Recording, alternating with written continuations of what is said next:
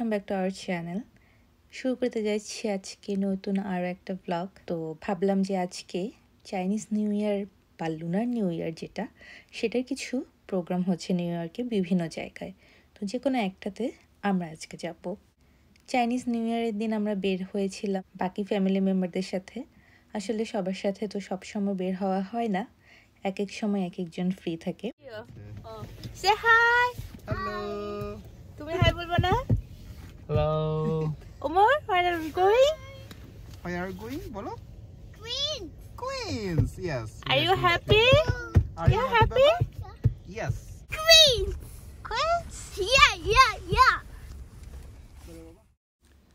পৃথিবীর সব দেশেই আলাদা করে নিউ ইয়ার পালন করা হয় ঠিক তেমনি চাইনিজদের জন্য এটা চাইনিজ নিউ ইয়ার আর এটা শুরু হয় একুশ জানুয়ারি থেকে বিশ ফেব্রুয়ারির মধ্যে আর এই দু হাজার তেইশের চাইনিজ নিউ ইয়ারটা পড়েছে বাইশে জানুয়ারি। এই চাইনিজ নিউ ইয়ারের আর দুটো নাম আছে, একটা হচ্ছে লুনার নিউ ইয়ার আর অন্যটা স্প্রিং ফেস্টিভ্যাল চাইনিজরা বিশ্বাস করে, বারোটি প্রাণী আছে যারা এক একটা এক এক বছরকে রিপ্রেজেন্ট করে এবং সেগুলো বছর বছর অল্টারনেট করে। তো এই বছরের প্রাণীটা হচ্ছে র্যাবিট সো এবারের নিউ ইয়ারটাকে বলা হচ্ছে ইয়ার অফ র্যাবিট ওদের নিউ ইয়ারের সেলিব্রেশনে ড্রাগন ডান্সটা খুবই প্রাধান্য পায়। আর সবাই খুব কালারফুল ভাইব্রেন্ট ড্রেস পরে, বিশেষ করে রেড কালারের আর এছাড়াও তারা কিছু অ্যাক্টিভিটিস রাখে, যেমন ল্যান্টার্ন বানানো শেখায় ক্যালিগ্রাফি এরকম আরও অনেক কিছু।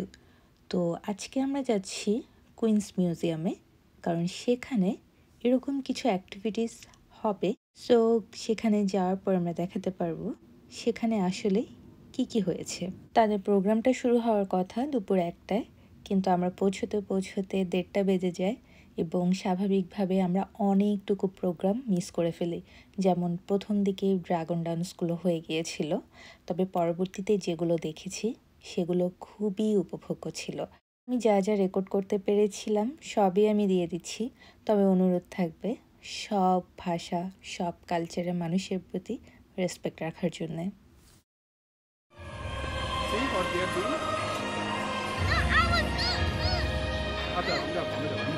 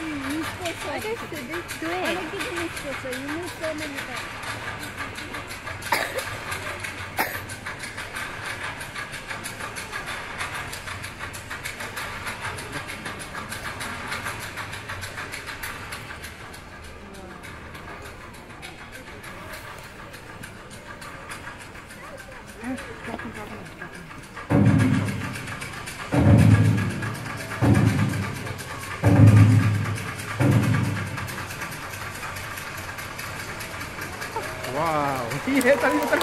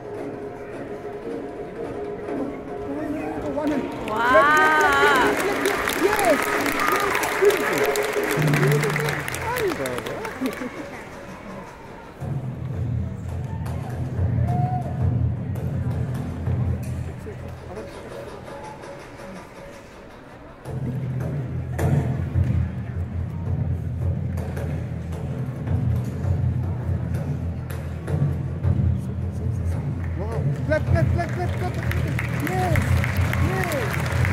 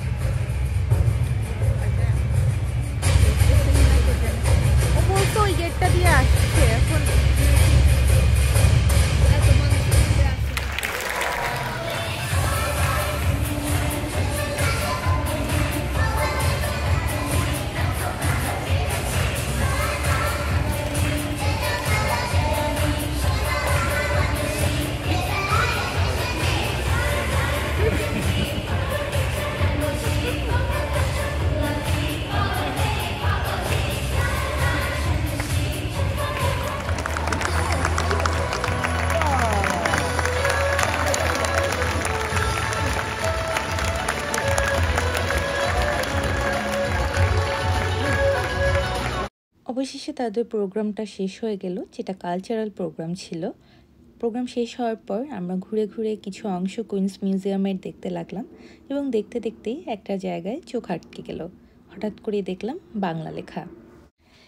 এরপর খুঁজতে লাগলাম বাংলাদেশের নাম আছে কিনা, কারণ বাংলাদেশ ছাড়া কলকাতাতেও বাংলা ভাষায় কথা বলে।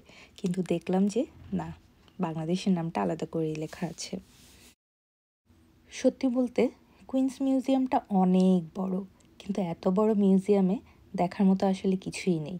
যা বুঝতে পারলাম, এখানে বেশিরভাগ সময় কালচারাল প্রোগ্রাম হয়, সেটার জন্যে হল রুমটা ভাড়া নেওয়া হয়, তখন যদি কিছু প্রোগ্রাম হয়।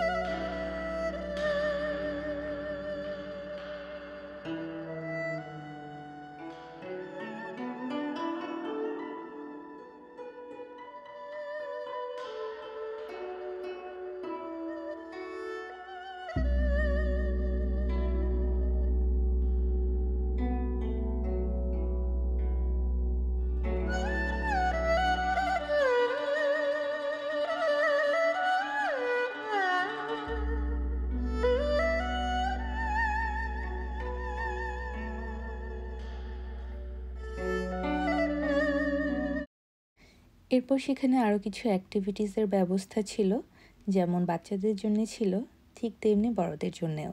আর আমাদের সাথে যেহেতু একটা বাচ্চা ছিল, তো আমরা ওখানে একটা লাইন দাঁড়ালাম, আর বড়দের যেখানে, সেখানে আরেকটা লাইনে দাঁড়ালাম।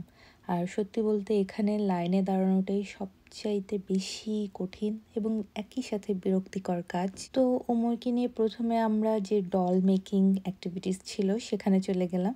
একটা কাগজের ঠোঙার উপর বিভিন্ন রকম কালারের পেপার বসিয়ে সেটার উপর চোখ, নাক, কান যোগ করে শেষে একটা কার্টুনের শেপ দেওয়া হয়।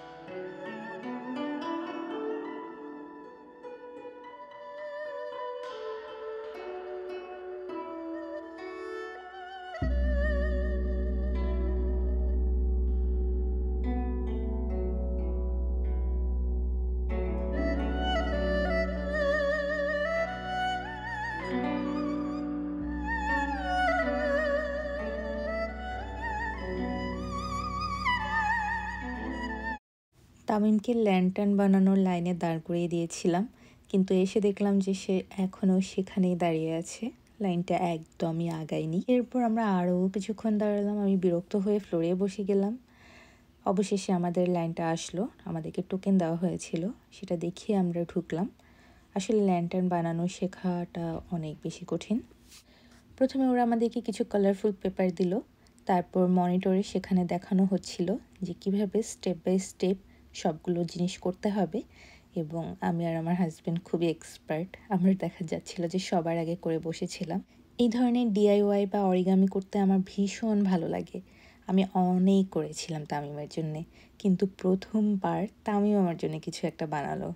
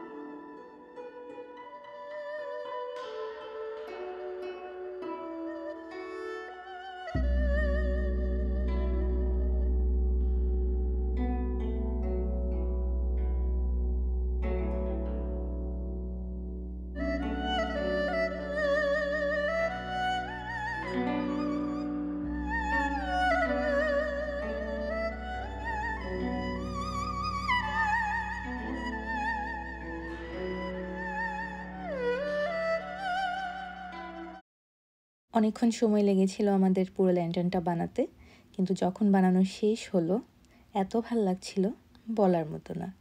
যাই হোক ল্যান্টার্ন বানানো শেষ করে আমরা বের হয়ে দেখলাম অলরেডি চারটা বেজে গিয়েছে এবং পুরো মিউজিয়াম ফাঁকা হয়ে গিয়েছে। মানে সবাই বাসায় চলে গিয়েছে আর আমরা বসে বসে ল্যান্টার্ন বানাচ্ছিলাম।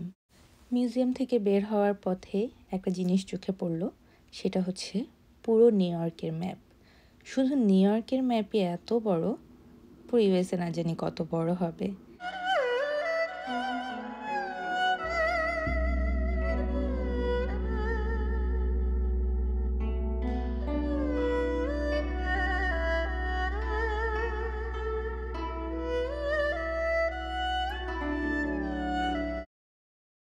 সেখানে আমরা ম্যানহাটন ব্রংস আরও যেসব জায়গায় আমার যাওয়া হয়েছে সেগুলো খুঁজে বের করলাম।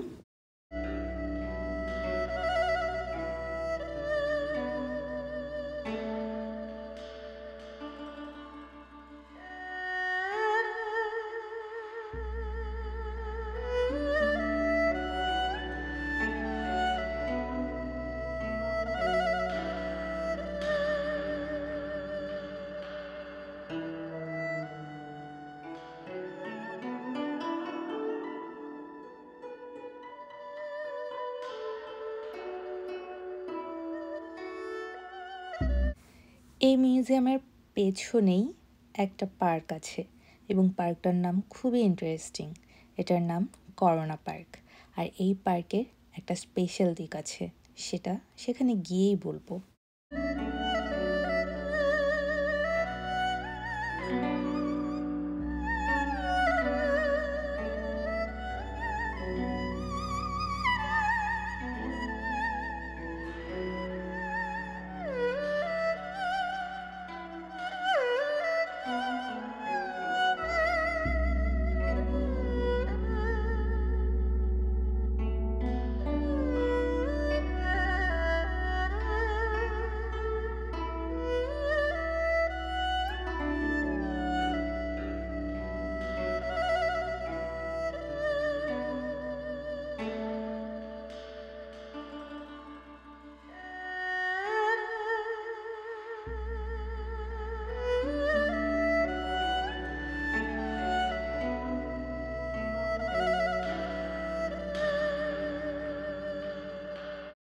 এতক্ষণ যে জিনিসটার কথা বলছিলাম, সেটা হচ্ছে এই জিনিসটা। এত বড় ইউনিস্পেয়ার এবং এটা সম্ভবত আপনারা অনেক হলিউডের মুভিতে দেখে থাকবেন। Iron man spiderman captain America সহ বিভিন্ন মুভি, সিরিজ, বিজ্ঞাপন, সব কিছুতেই এই জিনিসটা দেখা গিয়েছে। সেই জিনিসটা এত কাছ থেকে দেখছি এবং পুরোটাই স্টিল দিয়ে বানানো। আর বানানো হয়েছে উনিশশো চৌষট্টি সালে।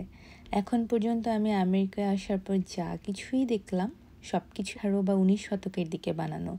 কোনো কিছুই দুই হাজারের দিকে বানানো না। এটা অনেক ইন্টারেস্টিং যে এত আগে থেকে তারা এত কিছু ডেভেলপ করে ফেলেছে। সামারের সময়টায় এই জায়গাটায় ফড়া চালু করে দেওয়া হয়। এখন যেহেতু শীতকাল, সে কারণে সেটা বন্ধ আছে। আর বাচ্চারা এখানে খেলাধুলা করছে। আর পার্কটা কিন্তু অনেক বড়। পুরো পার্কটা হাঁটা শুরু করলে আপনি মোটামুটি টায়ার্ড হয়ে যাবেন। ইউএসএতে এরকম ছোট বড় পার্কের কোনো শেষ নেই। কিছু দূর হাঁটলেই দেখা যাবে যে এরকম কিছু ছোট ছোট পার্ক চোখে পড়ছে। আর এসব পার্কে গিয়ে কিছুটা সময় কাটানো আমার মনে হয় যে মেন্টাল হেলথের জন্য অনেক বেশি গুরুত্বপূর্ণ। অন্তত বুক ভরে নিঃশ্বাস নেওয়ার মতো কিছুটা জায়গা তো আছে। পুরো পার্কটা তো আর আমরা হেঁটে শেষ করতে পারলাম না। অন্তত একটা সাইড আমরা হেঁটেছি এবং হেঁটে আমরা অনেক টায়ার্ড হয়ে গিয়েছি। আর সারাদিন আমাদের কোনো কিছু খাওয়া হয়নি সো এবার আমাদেরকে খাওয়া দাওয়া করতে হবে। তো আমাকে এর আগের একটা ভিডিওতে অনেকে মেনশন দিয়েছিলেন যে কুইন্সে গেলে সাগর চাইনিজে যেন আমি অবশ্যই খাই, সেটা নাকি খলিল চাইনিজের চাইতেও ভালো। তো আজকে আমরা ঠিক করলাম, সেখানেই খাব, দেখা যাক কোনটা ভালো। সেখান থেকে বের হয়ে অবশেষে আমরা সাগর চাইনিজে গেলাম। প্রথমে আমরা আমাদের পছন্দ মতো সিট বেছে নিয়ে বসলাম। তারপর আমরা আমাদের ফুড অর্ডার দিলাম। আমরা আজকে নিয়েছিলাম একটা Thai soup chicken lollipop beef fried rice তার সাথে চিকেন মশলা এবার একটা ছোটোখাটো ফুড রিভিউ করা যাক। প্রথমে আসি থাই স্যুপে আমি অর্ডার করার সময় বারবার বলে দিয়েছিলাম থাই স্যুপটাতে যাতে ঝাল না দেওয়া হয়, কারণ আমাদের সাথে একটা বাচ্চা আছে। কিন্তু অর্ডার দেওয়ার প্রায় দুই তিন মিনিটের মধ্যেই তারা আমাদেরকে থাই স্যুপটা সার্ভ করে দেয়। তার মানে এটা আগে থেকেই রেডি ছিল এবং অ্যাজ ইউজুয়াল স্যুপ অনেক বেশি স্পাইসি ছিল এবং বাচ্চাটা খেতে পারেনি। আর চিকেনের পিসগুলো যেগুলো ছিল, সেগুলো মনে হয়েছে যে সেদ্ধ করে জাস্ট স্যুপের মধ্যে দিয়ে দেওয়া হয়েছে। সো আমি বলব এই থাই স্যুপটা আমার একদমই ভালো লাগেনি। আমার সাথে সাথে আমার বাসার কারোরই আসলে ভালো লাগেনি। খলিলের স্যুপটা অ্যাকচুয়ালি বেটার এরপর সাগর থেকে যদি একটা জিনিস আমি অবশ্যই ট্রাই করতে বলি, সেটা হচ্ছে চিকেন ললিপপ এটা আসলে অসাধারণ ছিল। আমি জানি না কীভাবে বানিয়েছে বাট এটা মাস্ট ট্রাই একটা আইটেম এটা আমার অনেক ভালো লেগেছে। যা বুঝলাম, ওদের খাবারগুলো মারাত্মক ঝাল থাকে। বিফ ফ্রাইড রাইসটাও আমার খুব একটা ভালো লাগেনি। আর এদের প্রাইসটা অনেক বেশি, ওরা অনেক এক্সপেন্সিভ মূল বিলের পাশাপাশি এখানে আরও এক্সট্রা এইট পার্সেন্ট ট্যাক্স এবং পনেরো পার্সেন্ট সার্ভিস চার্জ পে করতে হয়েছে আমাদের। তবে যে পনেরো পার্সেন্ট সার্ভিস চার্জ আমরা দিয়েছি, সেরকম সার্ভিস আমরা আসলেই পাইনি। কারণ তাদেরকে ডেকেও খুঁজে পাওয়া যাচ্ছিল না, অবস্থাটা এমনই ছিল। কোয়ালিটি এবং কোয়ান্টিটি কোনোটাই আশানুরূপ না। ফ্রাইড রাইসে বিফের পরিমাণ খুবই অল্প ছিল এবং যা ছিল তাও খুবই চুই একদমই খাওয়া যাচ্ছিল না। আর সাথে যে মাসালা গ্রেভিটা আমরা নিয়েছিলাম চিকেন সেটাতে না লবণ হয়েছে, না কোনো টেস্ট পেয়েছি। ওভারঅল আমার না সাগরের কিছুই ভালো লাগেনি। সো আমি বলব আমার জন্য চাইনিজ আইটেমের জন্য খলিলটাই বেস্ট আর রিসেন্টলি শুনলাম খলিলও নাকি কুইন্সে ব্রাঞ্চ খুলেছে। সো যারা খেতে চাচ্ছিলেন কিন্তু পারছিলেন না, তারা এখন থেকে পারবেন। সো যারা আমাকে সাগরে ট্রাই করার জন্যে সাজেশন দিয়েছেন, তাদেরকে অনেক থ্যাঙ্কস কিন্তু অনেস্টলি আমার কিছুই ভালো লাগেনি। শুধু আমার না, আমার বাসার কারোরই কিছুই ভালো লাগেনি। তো যাই হোক আজকের মতো এই ভিডিওটা শেষ করছি। পুরোটা দিন আমাদের অনেক ভালো গিয়েছে। সো সবাইকে অনেক বেশি ধন্যবাদ ভিডিওটা দেখার জন্যে। Thank you